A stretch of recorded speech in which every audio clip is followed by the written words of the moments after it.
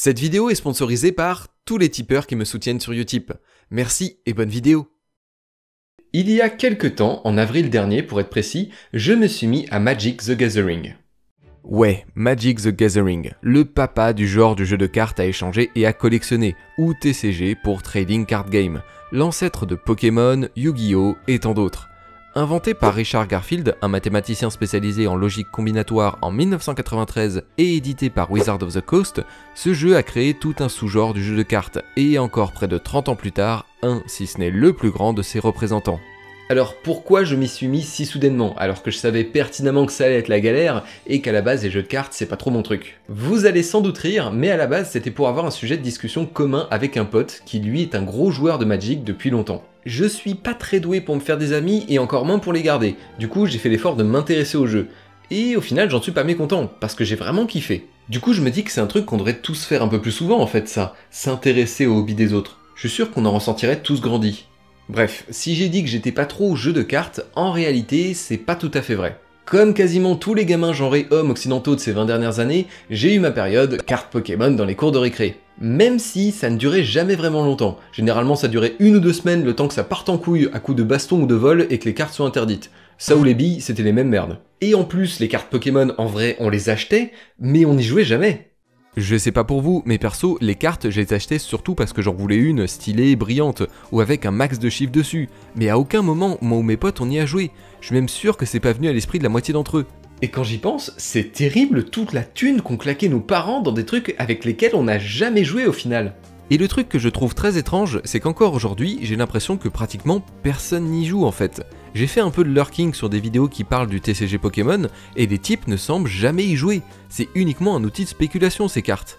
Et vous tenez sans doute là une des raisons pour lesquelles j'ai jamais trop aimé les TCG. Acheter des cartes uniquement pour qu'elles dorment au fond d'un tiroir pendant 20 ans, bah je trouve pas ça très fun. Mais Magic, c'est un peu tout le contraire. Si beaucoup de joueurs sont des collectionneurs, les possesseurs de cartes Magic sont avant tout des joueurs. Donc voilà, aujourd'hui je vous propose un petit retour d'expérience sur mon arrivée sur le jeu en 2021, ainsi qu'un mini tuto sur comment rentrer dans ce TCG après quelques mois à y jouer de manière assez intensive. Alors, je vais rapidement faire un petit tour très très succinct des règles du jeu pour que vous compreniez pourquoi Magic est considéré comme un jeu vraiment compliqué. Magic, c'est un jeu de cartes à information partielle au tour par tour. Ça veut dire que vous jouez chacun votre tour et que vous ne voyez pas la main de votre adversaire. D'ailleurs, une grande partie de la difficulté du jeu réside dans le fait qu'il faut deviner la main potentielle de votre adversaire. Donc, vous commencez un tour en piochant une carte de votre deck, puis vous posez un terrain.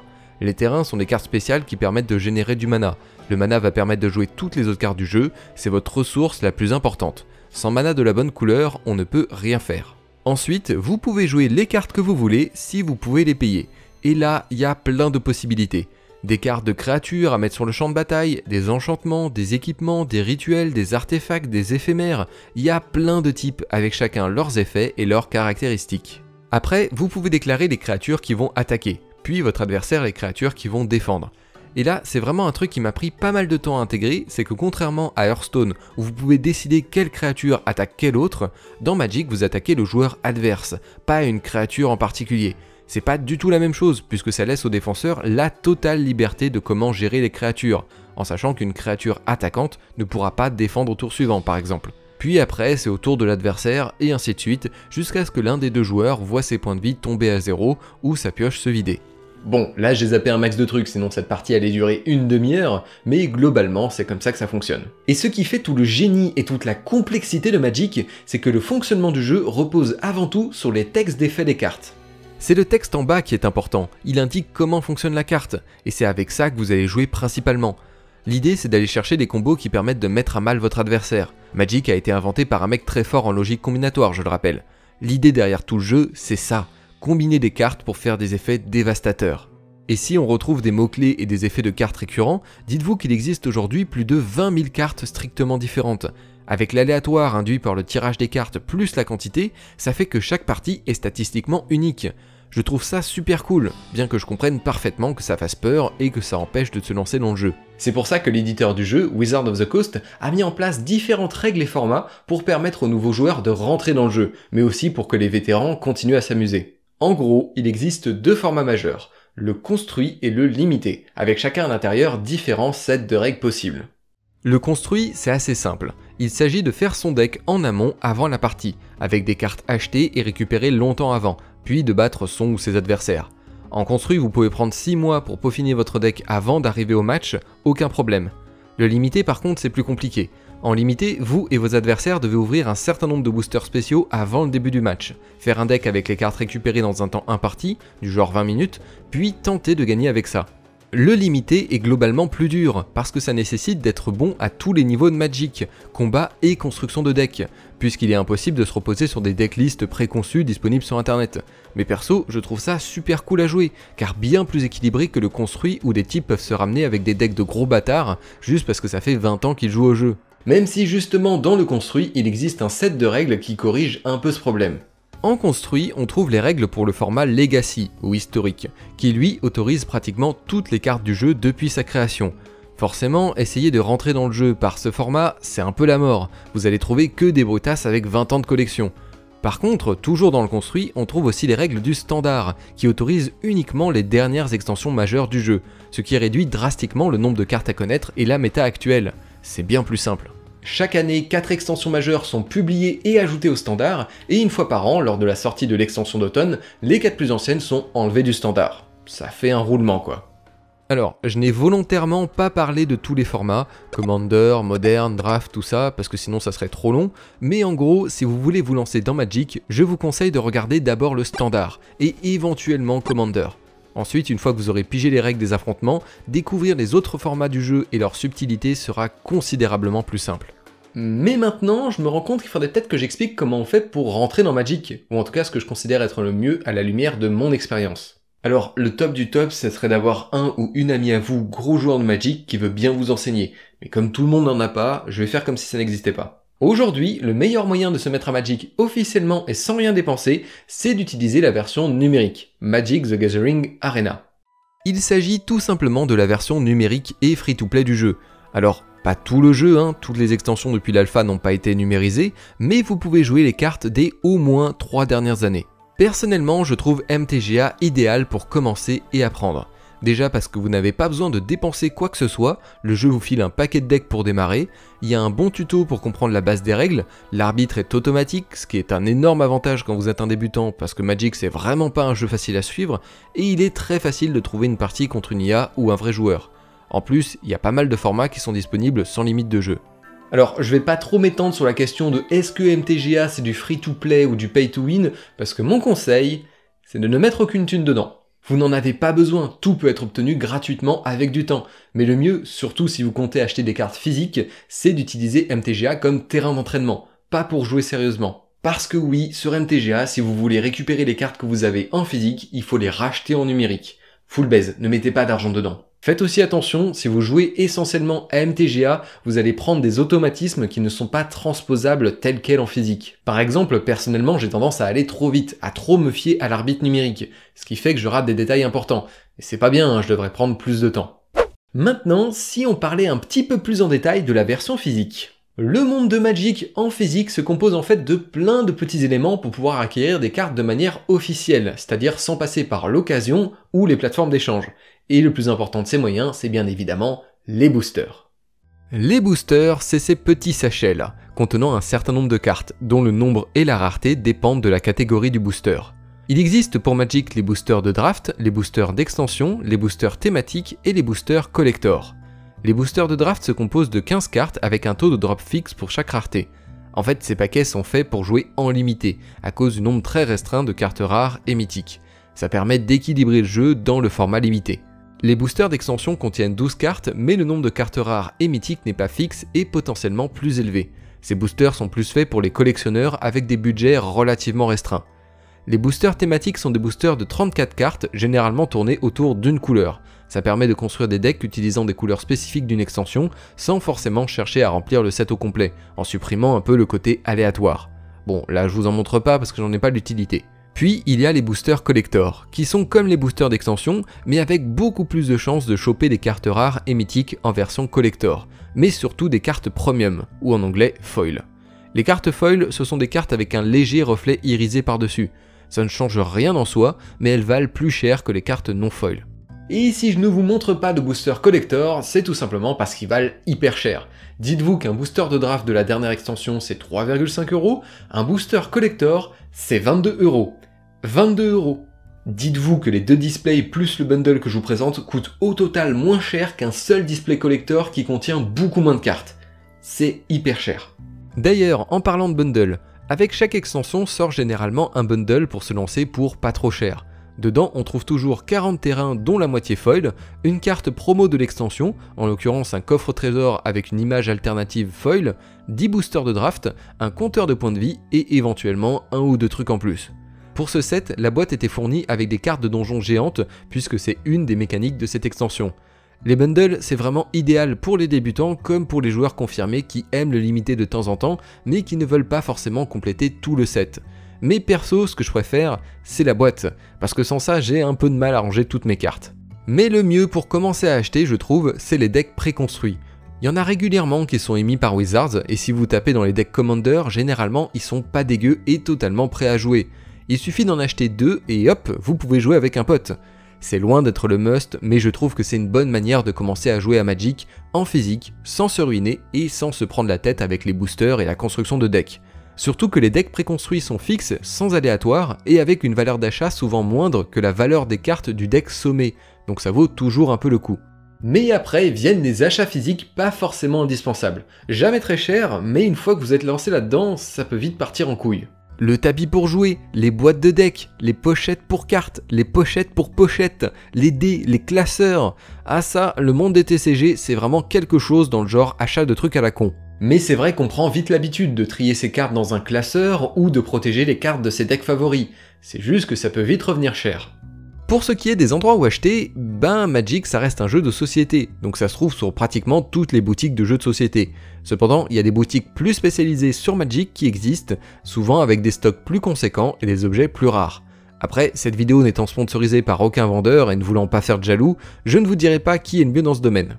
Juste un conseil, évitez Amazon. Les prix sont souvent plus chers que la concurrence dans ce domaine. Par contre, que vous commenciez en physique ou en numérique et quelle que soit la thune que vous comptez mettre dedans, il y a un truc auquel vous n'échapperez pas, il vous faudra un moment avant de commencer à vraiment vous amuser.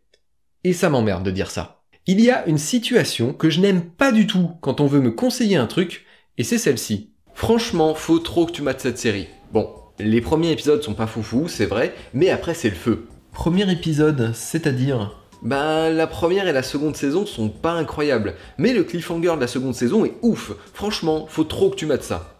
Non, une série qui devient bien au bout de 10 ou 12 épisodes, c'est pas une bonne série. Au mieux, c'est une série moyenne. Je vais pas me faire chier à regarder de la merde pendant 10 heures pour peut-être un truc cool à la fin. Ça aurait été un ou deux épisodes, ok, pourquoi pas. Les pilotes, c'est jamais les meilleurs de toute façon. Mais une ou deux saisons, c'est mort. Et le problème, c'est que transposé en série, Magic c'est un peu la série qui devient cool au bout de deux ou trois saisons.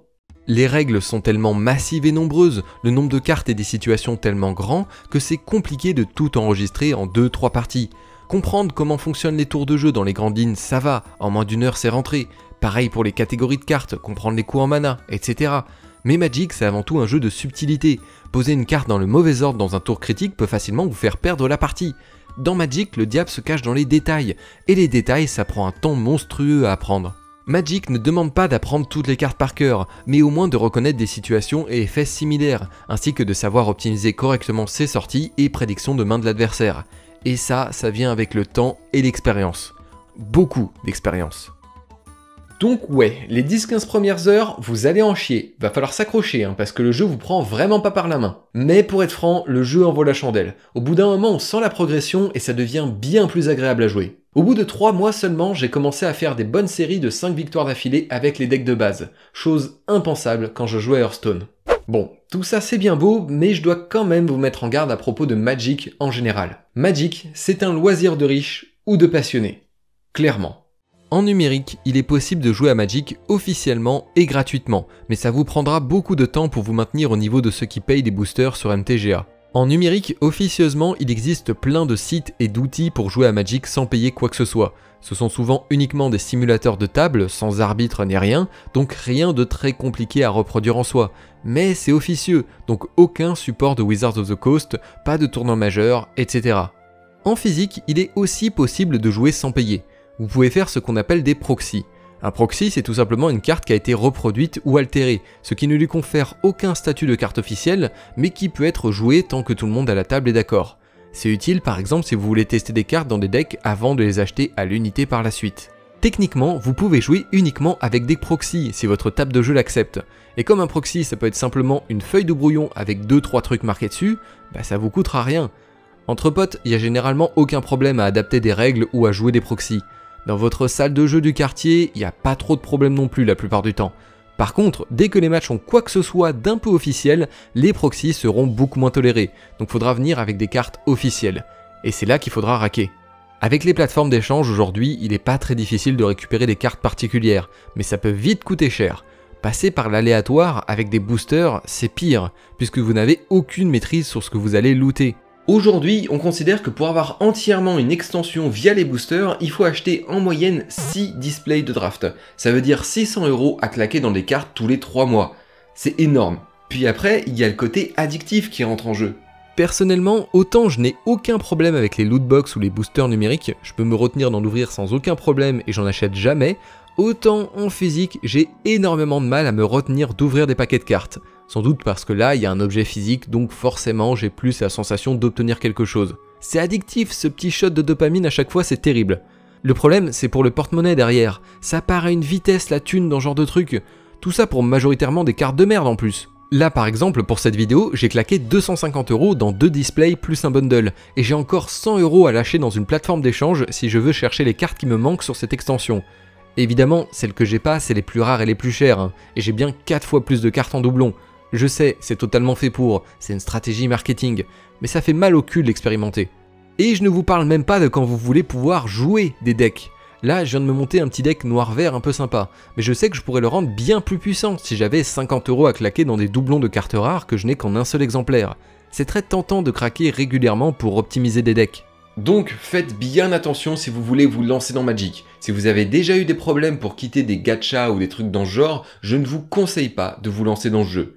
Du tout. De même, je vous déconseille les cartes comme valeur d'investissement. Je sais qu'on voit régulièrement des Black Lotus Alpha se vendre pour un demi-million de dollars et que globalement toutes les cartes prennent de la valeur avec le temps. Mais aujourd'hui, pour les cartes récentes, cette augmentation elle est minime. Il y a trop de joueurs, trop d'impressions de set. Une carte qui réussit à faire x2 sur sa valeur en 10 ans, c'est exceptionnel. Et une carte qui se vend à plus de 15 euros à sa sortie, c'est assez rare. Donc non, évitez d'utiliser Magic comme un outil d'investissement sur le futur si vous commencez aujourd'hui c'est de la merde. Bon, et avant de conclure, mes petits conseils express si vous voulez vous mettre à Magic. Trouvez un mentor, c'est beaucoup plus simple. Ne mettez pas un copec dans MTGA sauf si vous comptez ne jamais acheter en physique. Ça ne sert à rien de racheter les cartes une seconde fois en numérique et MTGA c'est facilement jouable gratuitement. Ça prend juste plus de temps et demande plus d'investissement. Allez-y mollo au début. Explorez les outils en ligne, allez sur YouTube chercher des vidéos qui parlent de Magic. Se lancer seul là-dedans, c'est compliqué. Cherchez de l'aide, vous ne le regretterez pas. Ne vous enfermez pas dans un seul style de jeu. Magic a énormément de cartes, ça serait dommage de toujours jouer la même chose et de vite s'ennuyer. N'ayez pas peur de perdre, surtout au début. Comme je l'ai dit, au début vous allez prendre cher, ok. Mais au-delà de ça, même les meilleurs joueurs du monde ne sont pas à 100% de victoire. Loin de là. Ça reste un jeu de cartes, il y a des parties ingagnables. Passez directement par des sites spécialisés pour acheter les sets si vous êtes juste collectionneur. Ça coûte beaucoup moins cher que de passer par l'aléatoire des boosters. Enfin voilà, c'était mon retour d'expérience sur mes débuts sur Magic en 2021 et comment je vous conseille de rentrer dans le jeu. Globalement, c'était très positif de mon côté et je vais sans doute continuer à jouer avec enthousiasme régulièrement. Franchement, les petits après Magic entre potes, c'est super cool. Par contre, pour le bien de mon portefeuille, je vais sans doute acheter uniquement le bundle de l'extension tous les 3 mois et éventuellement un ou deux displays de draft par an. Parce que ça coûte vraiment cher ces conneries? Alors par contre, j'ai pas parlé de tous les points importants sur lesquels j'ai pris des notes. J'en ai mis quelques-uns de côté parce que je savais pas trop où les mettre et la vidéo était déjà assez longue et dense comme ça. Peut-être que je ferai prochainement une vidéo plus light qui couvrira les points manquants. Et si vous trouvez que dans cette vidéo j'ai été trop amélioratif envers Wizard et Magic, je pense que je me rattraperai dans la prochaine. Sinon, si vous voulez continuer à explorer le monde de Magic mais sans forcément y jouer en attendant, je vous conseille d'aller voir si ce n'est pas déjà fait le documentaire d'Al236 sur le sujet. La vidéo dure 2 heures mais elle est super bien faite. Enfin voilà, de mon côté, j'espère que cette vidéo vous aura plu. N'hésitez pas à me dire ce que vous en avez pensé en commentaire. N'hésitez pas non plus à liker, partager, passer sur mon Utip ou me tiper de quelques battes. Et quant à moi, je vous retrouve dans quelques temps pour une nouvelle vidéo. Et d'ici là, je vous dis salut à tous, portez-vous bien